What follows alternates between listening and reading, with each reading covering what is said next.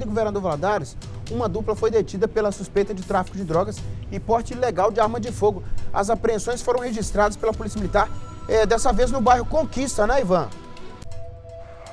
Exatamente isso. E neste caso foram apreendidas duas armas de fogo, oito munições, carregador, R$ 2.041, balanças de precisão, pedras de crack, buchas de maconha e porções de pasta base de cocaína.